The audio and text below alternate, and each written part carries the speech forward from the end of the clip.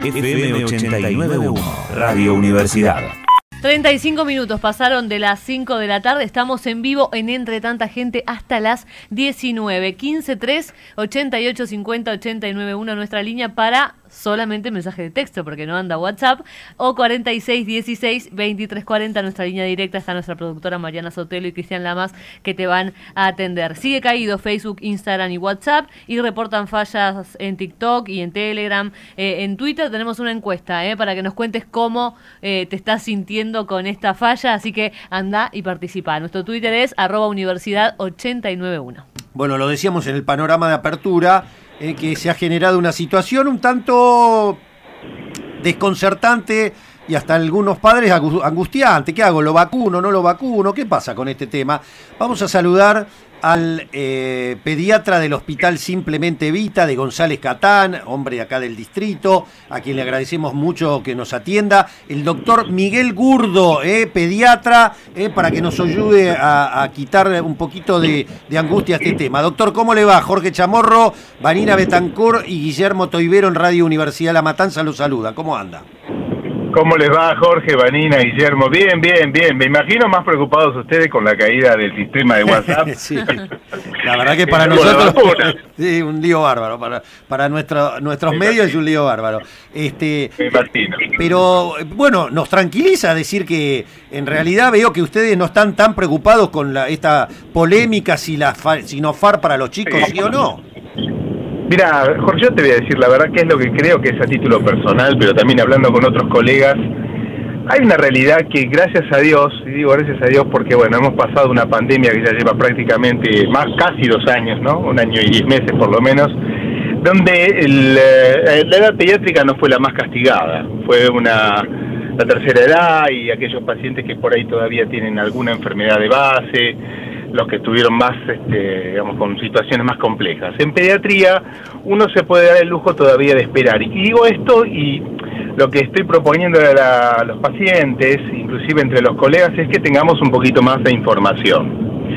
Porque si bien la Sinopharm dicen que ya está la fase 2 completa, yo creo que si bien, lo, porque te dije antes, ¿no? Digamos, si, si los chicos no han tenido grandes complicaciones, podemos esperar una fase 3 o una fase donde los estudios sean un poquitito más completos. Con respecto a, por ejemplo, situaciones que pasan en el mundo, el Reino Unido, eh, para los chicos mayores de 12 años, les está, les está dando creo que una sola dosis. Imagínate que para los chicos de 3 años a 11 años, yo creo que también van a esperar. Sé que Pfizer o Moderna, alguna de las dos empresas eh, que tienen, bueno, por lo pronto experiencia ya en fase 3 con respecto a esta vacuna para los menores de 11 años, este, están esperando la firma, de, digamos, de los entes reguladores. Y si me preguntas, por eso te digo, personalmente creo que hay que esperar, la Sociedad Argentina de Pediatría de hecho también está haciendo eh, menciona esto de, bueno, mayor información como para tomar una determinación y decirle a los padres, bueno, vamos para adelante con todo con la vacuna. Cuando digo que no hubo enfermedad, estoy hablando de la edad pediátrica donde los chicos no tienen este, problemas de base, ¿no? Vuelvo a repetir, quizás aquellos que tienen enfermedades oncológicas o enfermedades autoinmunitarias, ¿viste? Bueno, por ahí en una de esas con ellos hay que tener también buena información, pero a lo mejor les surge más la aplicación de una vacuna para, bueno, impedir que este virus les haga algún daño, ¿no? ¿Se entendió más o menos el Sí, concepto? Yo no, lo que eh, quiero es dar tranquilidad a la gente y a la población con respecto a, a los chicos, no hay, no hay una urgencia. Creo Claro, que lo- lo que es importante es vacunar al adulto, ¿no? Sí, lo que se está diciendo por ahí es que el problema es que el chico contagia mucho. Sí, no sé, mira, yo, yo te digo, eh, vos fíjate que nosotros hemos abierto las las escuelas este último tiempo y no hemos tenido un gran rebrote de... Yo sé que está dando vuelta el tema de la Delta, ¿viste? De, de, de, de, Sí, sí. de, un- de- de una parte de una tercera ola que nos implique, digamos, este este tipo de este tipo de coronavirus, ¿no? La, la, la, la Delta, pero en realidad no hemos tenido grandes aumentos, de hecho hemos llegado al 50% de la población, se calcula que para mitad de noviembre y quizás un poquito antes tengamos el 70% de la población vacunada. creo que no urge, creo que se puede esperar un poquito más, creo que no tenemos que salir a buscar vacunas. Vuelvo a repetir y hago hincapié en esto de los chicos que eh, no tienen patologías de base o que les surge la vacuna, ¿viste? Me parece que se puede esperar un poquito más de información por parte de los laboratorios y, estudios serios. Yo sé que los hacen, eh, estoy seguro de que eh, en el mundo urge también esta parte, pero tenemos que estar seguros. Viste, la Sociedad Argentina de Pediatría de hecho está pidiendo informes, no, no es que está dando vuelta ya con una opinión dada, con una opinión ya este, de base, eh, yo creo que hay que tener más información. Es mi opinión. Medicina basada en la evidencia justamente se trata de eso, de tener evidencia para no cometer errores, ¿viste?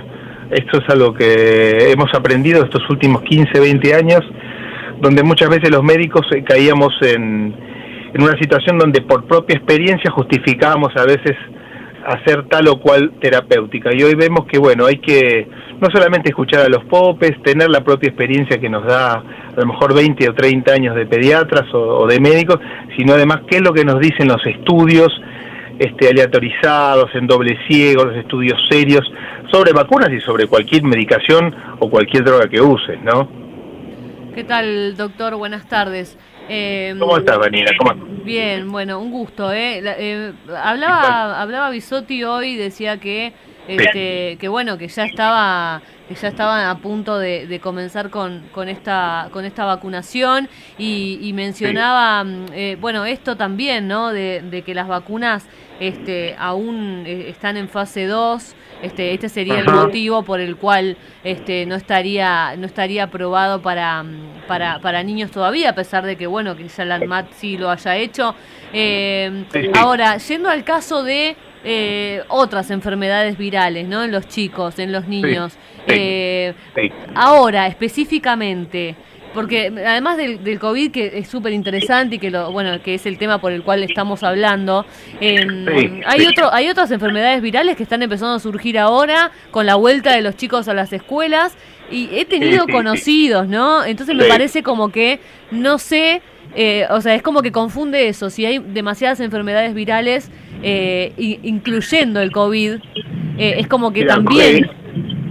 Tu observación es absolutamente cierta, este, más allá de la información que, seguramente tengas. Este, em, mira, eh, a lo largo de los años hay una realidad. El hecho de no haber ido a la escuela durante el año pasado nos hizo tener una internación pediátrica mucho menor. Mm. Quizás los casos este, de COVID fueron menores, por supuesto, que en clínica de adultos. Pero cuando se reabrieron las escuelas, se presentaron casos de, de las típicas bronquiolitis, eh, y si vos preguntás a cualquiera del, servicio de pediatría ya de Catán, del 32, pasar que tenemos un montón de internados que parece que fuera que estábamos en julio. Tenemos muchos, gracias a Dios, pocos, digamos, COVID, digamos, la mayoría son eh, infecciones respiratorias agudas bajas, que llamamos neumonías y bronquiolitis, que son típicas de la época, y que clásicamente te diría que para septiembre, y parte de la mitad de octubre siempre hay como un rebrote. Es decir, estas enfermedades respiratorias que eh, se vinculan muy a la época invernal, este, empiezan a descender después de las vacaciones de invierno, pero siempre hacen como un pico de rebrote. Te estoy hablando históricamente, ¿no? Más allá de lo que esté pasando este tiempo de, de COVID. Eh, históricamente rebrotan en septiembre, no sé por qué, seguramente por ondanadas virales, podría quizás explicarlo más un infectólogo, pero siempre las hemos tenido, de hecho las tenemos, y yo creo que si el año pasado no fue así, justamente es porque no hubo escuela. Y creo que no hubo, bueno, intercambio viral entre los chicos, que sí, por supuesto, se contagian, pero no, no más de lo que habitualmente los otros años teníamos, ¿viste? Sí en esta época seguramente si tenés amigas, amigos este, con, con, chicos en edad escolar, te van a decir, uy, se la pasan resfriados, salen de un resfrío y a los 10, 15 días están con otro, y los más chiquititos o los menores de dos años que sufren esta, esta parte de la enfermedad viral que le decimos infecciones respiratorias agudas bajas, que son las de todos los años y que en esta época, como te decía, rebrotan, ¿no? Eh, Miguel, ¿qué pasa? Bueno, para eso, ojo, hay vacuna antigripal, este, de hecho creo que están en estudios otros otros de otros virus mm, también con todo esto fue muy, movilizante lo del covid no este, en estos dos años eh, creo que movilizó mucho a la industria farmacéutica a buscarle la vuelta también a otras virosis que teníamos todos los años no Miguel, eh, Guille te saluda, ¿cómo te va? Gracias por atender. Sí, Guille, ¿cómo estás, querido? No, por favor. Eh, la, pregunta que me surge, yo tengo dos preguntas en realidad, eh, sí, sí. abusando de tu, de tu generosidad. La, primera es, eh, ¿en qué cambia, en qué cambia, viste, la ANMAT aprobó para los adultos, hace un año más o menos, un poquito menos, el tema de la vacunación. ¿En qué cambia a los chicos? ¿Por qué se, se, le da el visto bueno, se le dio el visto bueno a la ANMAT con los adultos y no con los chicos tan rápido? No, quizás, viste, los estudios han sido estudiados por cortes, decimos nosotros, es por grupo etario, ¿no? Ponele, primero, viste que se avalaron los mayores de 60, 65 años, después se fue corriendo la edad, yo creo que los últimos que iban a llegar eran los chicos, y creo que en este aspecto se tiene más, más cuidado, yo creo que se cuida un poquito más los protocolos, eh, a lo mejor se necesita una N, como decimos nosotros, una, un número de casos de estudio mucho mayor, este, pienso que viene por ahí la cosa, creo que es una cuestión casi natural. Imagínate que más de una vez cuando con cualquier medicación, ni siquiera te estoy hablando con la con la vacuna, ¿no? Con cualquier medicación este que uno vaya a avalar en pediatría, o sea, en edad pediátrica, este es mucho más celosa la industria farmacéutica para dar un veredicto y mucho más celoso la ANMAT también para darlo, inclusive la FDA de Estados Unidos, ¿no? Sí, y, la otra que, me surge preguntarte es, decir, ¿qué puede pasar si uno vacuna a un, a un chico? Depende de las vacunas. Imagínate que, por ejemplo... Esta en realidad, esta en realidad. te pregunto, este ¿puede, ¿puede ser que, sea una, que, que, pueda suceder algo que, que no sé, que, lo perjudique al chico? Mira, yo te voy a decir una cosa. La verdad que cualquier... Ampliemos un poquito el concepto y después afinamos el lápiz con respecto a la vacuna. Genial. Pues que cualquier, cualquier medicación, cualquier medicación, cualquiera, te estoy diciendo desde la, el ácido acetilsalicínico, o sea, una aspirina, una aspirineta, este, hasta la droga más compleja, la verdad que puede tener efectos adversos indeseables. Eso se llama idiosincrasia. En, en, idiosincrasia, que por ahí tiene otros términos de otra concepción, eh, cuando se habla de otra cosa, es justamente la respuesta individual que puede tener cada chico a cualquier medicación. ¿Viste? Como te dicen, uy, a mí eso me dio, no sé, me, me, dio, me, produjo más gripe, me puse el antigripal y me enfermé. Esto lo debes haber escuchado miles de veces, inclusive con, con gente alrededor tuyo. Me ha pasado a mí. Y la verdad que uno a veces dice, tal cual, ¿viste? Y uno dice, bueno, mira, puede ser, puede ser que tu organismo sea más susceptible a, digamos, dar una reacción adversa o un efecto secundario a una medicación o a una vacuna. Con respecto a los chicos, en realidad uno tiene que estar con cualquier persona, pero sobre todo con los chicos, eh, digamos, que no haya eh, efectos trombóticos, que no haya efectos alérgicos, que no haya este, em, reacciones alérgicas, pero no alérgicas de una urticaria, estoy diciendo de algo más grave, ¿no? Un, shock anafiláctico o, trastornos, como te dije al principio, trombóticos, es decir, generadores de, de trombosis. Vos sabés que una de las cosas, yo no sé si se acuerdan con el tema de la AstraZeneca, era que, bueno, ojo con la mujer, porque la mujer que recibe anticoncepción oral y se da la vacuna, bueno, también nosotros dudábamos entre nosotros, te debía decir algo muy personal, lo que fue, por ejemplo, cuando a mi mujer le salió eh, la vacuna para, para darse la, de AstraZeneca, que era, que era la, que estaba, bueno, en el momento, en ese momento había llegado mucha, mucha cantidad, y yo le dije, mira, pará, déjame ver papers, déjame ver, digamos, este, de documentación porque viste había casos en el mundo donde había habido trombosis de eh, graves de, personas que se habían aplicado justamente en ese grupo etario que recibían anticoncepción oral. Bueno, hablé, leí y la verdad que producía más efecto trombótico el, el bicho, digamos, el, microorganismo, el, virus, que la posibilidad de que vos con la vacuna lo, lo hicieras. Yo creo que uno cuando se entiende lo que quiero decir. Entonces, bueno, te cuento el final de la historia. Fue así, es más, creo que fue a la mañana cuando me fui a trabajar, te dije, no, no te la das ni en, no, te voy a decir qué es lo que dije. y después cuando volví le dije, vamos que vamos a vacunarte. ¿Cómo? Me dijiste que no me la dé, pero no, no, mirá, estuve viendo, estuve hablando, hablé con ginecólogas, hablé con... Claro. O fíjate que hasta ese momento todos tenemos un montón de dudas, los profesionales también la tenemos y lo que vamos viendo es los documentos que avalan el accionar no solamente los entes regulatorios, que por supuesto para nosotros el ANDAT es fundamental, o la FDA en Estados Unidos o, los europeos mismos que deben tener sus entes reguladores. Pero bueno, eh, en pediatría te vuelvo a, decir, la verdad es que uno tiene, es más celoso de las decisiones para avalar una terapéutica, sea vacuna o sea cualquier medicación. Ahora, ¿qué le puede pasar a un chico para ir afinando el lápiz de, tu pregunta? La verdad que como cualquier medicación, si eh, no hay un estudio serio que abarque una gran cantidad de número de personas, uno puede esperar cualquier cosa. Ahora, con una fase 2 terminada, eh, donde, a ver, lo que le falta es gran cantidad de público eh, pediátrico como para avalar la fase 3, probablemente no le pasa absolutamente nada, pero el probablemente a tener una seguridad, este, yo creo que no hay ninguno que quiera eh, firmar un cheque en blanco, esto es lo que quiero decir.